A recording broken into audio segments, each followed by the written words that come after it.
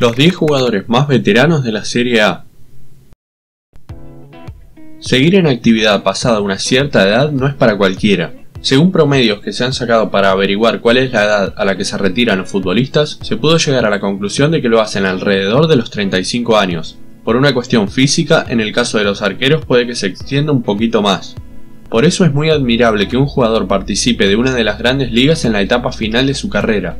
En la Serie A de Italia hay varios casos, y hoy vengo a traerles el top 10 de futbolistas en actividad más veteranos de esta liga.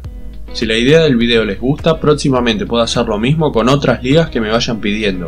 Antes de empezar, los invito a suscribirse a todos al canal, estoy subiendo varios videos de fútbol a la semana.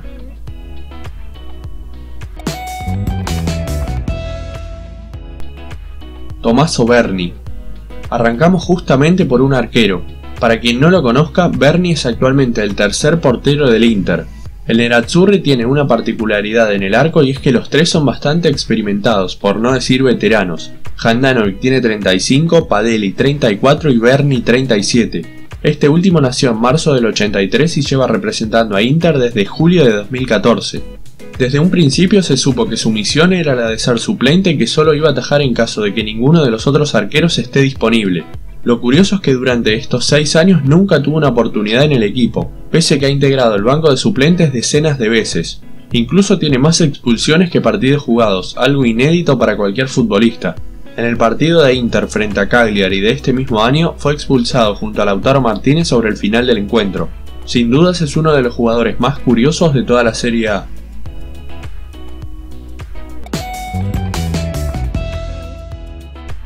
Federico Marchetti, un arquero mucho más conocido que Berni, que ha sabido defender los tres palos de la selección italiana en varias ocasiones y también en varios equipos del país como Torino, Cagliari Lazio, entre otros. Desde mediados de 2018, después de representar a las Águilas durante 7 temporadas, arribó a Genoa con 35 años. Todo este tiempo se mantuvo en el equipo genovés pero no jugó muchos encuentros. En su primera campaña en el equipo arrancó como titular pero tras 6 partidos fue reemplazado por el rumano Ionot Radu, en la presente temporada directamente no atajó un solo minuto y fue suplente de Matías Perín. Marchetti nació en febrero de 1983 y actualmente cuenta con 37 años, ocupando el noveno puesto de los futbolistas más veteranos de la liga.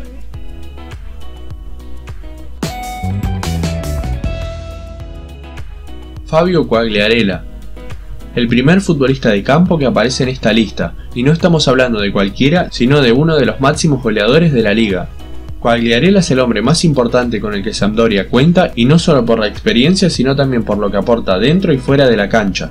El capitán de la Samp nació el 31 de enero de 1983 y actualmente tiene 37 años, pero eso no es impedimento para seguir rindiendo al máximo nivel en una de las mejores ligas del mundo. La pasada temporada el delantero italiano fue ni más ni menos que el goleador de la liga con 26 tantos, superando a otras figuras como Zapata, Piatek o Cristiano Ronaldo. En la actual campaña, antes del parate, el atacante llevaba anotados 9 goles en sus 21 partidos de Serie A, números impresionantes para un delantero de su edad.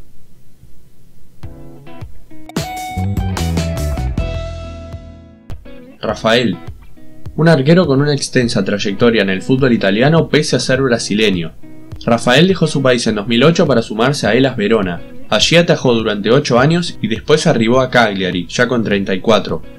El futbolista nacido en San Pablo es actualmente el séptimo más veterano de la liga. Tiene 38 años y nació en marzo del 82.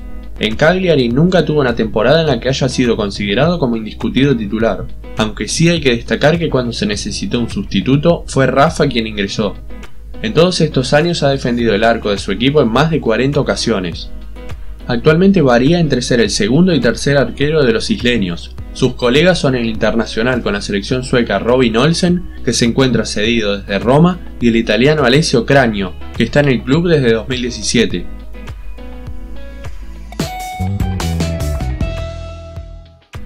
Rodrigo Palacio. En el puesto 6 se encuentra el delantero argentino del Bolonia, que ya lleva más de 10 años jugando en el fútbol italiano. Después de sus pasos por Huracán de Tres Arroyos, Banfield y Boca, llegó su hora de cambiar de aires y marcharse a Italia, su primer equipo Tano fue Genoa, con quienes jugó tres años con destacados rendimientos. Estos lo llevaron al Inter, equipo con el que jugó cinco temporadas y anotó 58 goles. Con 35 años, lejos de abandonar al fútbol italiano, pasó a un equipo menos exigente como lo es Bolonia. Increíblemente, a pesar de su edad, es como si su rendimiento hubiera evolucionado, a tal punto de que actualmente es uno de los titulares del equipo de la región de Emilia-Romagna, cosa que cuando llegó al club no ocurría. En la presente temporada, el futbolista nacido en febrero del 82 ha jugado 25 partidos y ha anotado 6 goles. El ex delantero de la selección argentina tiene actualmente 38 años.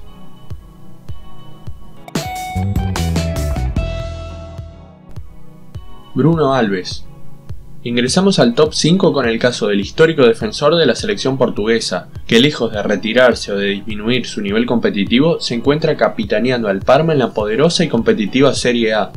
En su regreso a primera, Parma Calcio 1913 sumó varios jugadores, entre ellos a Bruno Alves que llegaba libre desde Rangers.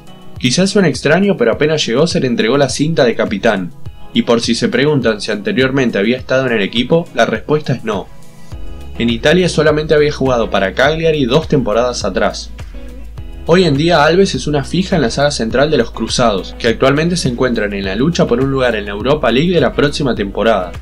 Bruno nació el 27 de noviembre de 1981, por lo tanto en este mismo momento tiene 38 años de edad.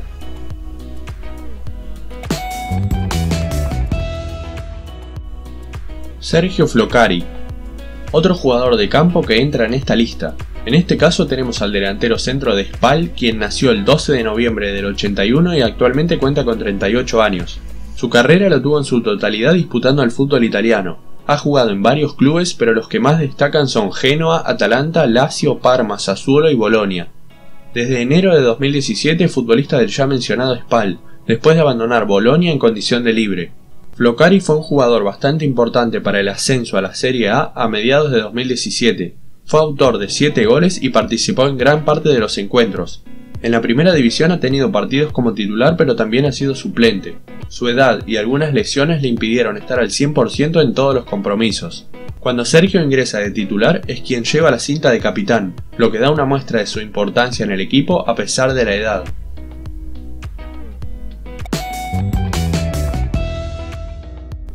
Zlatan Ibrahimovic del delantero sueco no hay nada que decir que un futbolero no sepa. Mantener ese estado físico y jugar al máximo nivel a los 38 años no es para cualquiera, pero evidentemente Zlatan lo puede hacer. Después de dejar el fútbol italiano en 2012, Ibra volvió al país a principios de 2020, a jugar precisamente en el que había sido su último equipo, Milan. Tras casi dos años jugando en el fútbol de los Estados Unidos, Ibrahimovic decidió retornar al viejo continente para darle una mano a un equipo que no está pasando por su mejor momento, como dije anteriormente, su estado es impecable y le permitió disputar la totalidad de los partidos sin tener que ser sustituido. Desde su arribo a Italia ha jugado casi todos los encuentros, contabilizando 8 por liga y 2 por copa, con 4 goles a favor. Durante el parate, Slatan sufrió una lesión en un entrenamiento, por lo que habrá que ver qué es de su futuro.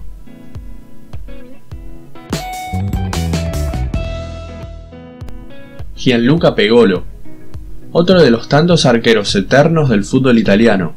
Pegolo, nacido en Bassano del Grappa, Italia, se desempeña actualmente en Sassuolo, y el nacer el 25 de marzo de 1981 y tener actualmente 39 años lo convierte en el segundo jugador más veterano de toda la liga. Gianluca tuvo pasos por varios equipos de su país, pero en donde más se mantuvo es en el Siena, en donde jugó desde 2009 hasta 2013 y también en Sassuolo, equipo que desde entonces no abandonó, lo que resulta interesante y a la vez curioso es que durante todos estos años solamente fue considerado como titular en su primera temporada. En la 2014-2015, una lesión gravísima en la tibia lo hizo perderse casi toda la campaña, y tras su vuelta el arco ya estaba ocupado. Todo este tiempo el arquero se tuvo que conformar con atajar un puñado de partidos por temporada, y pese a ello todavía continúa en el Nero Verdi.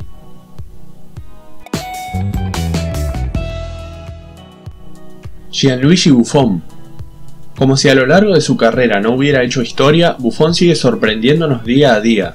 Ver que un tipo de su edad siga rindiendo en uno de los mejores equipos del mundo es realmente increíble. Gigi nació en enero del 78, por lo que actualmente tiene 42 años y es el futbolista más veterano de toda la Serie A. Lejos de colgar los guantes, demuestra en cada partido o entrenamiento que es un profesional de aquellos, comprometido con el equipo de sus amores al igual que cuando tenía 25, 30 o 35 años. Si bien es cierto que su rol no es el mismo que años atrás, ya que el polaco Chesney es quien suele defender los tres palos de la vecchia señora, Buffon suele tener sus oportunidades cada tanto. En la actual temporada, antes de que se frene, había atajado 7 partidos por liga, 3 por copa y 1 por Champions. Ojalá haya Gianluigi para rato y podamos seguir disfrutándolo unos años más. Espero que les haya gustado el video. Si quieren que haga lo mismo con alguna otra liga pueden dejar su sugerencia en comentarios. Antes de irse no se olviden de dejar su like y suscribirse al canal si todavía no lo están. Un saludo a todos.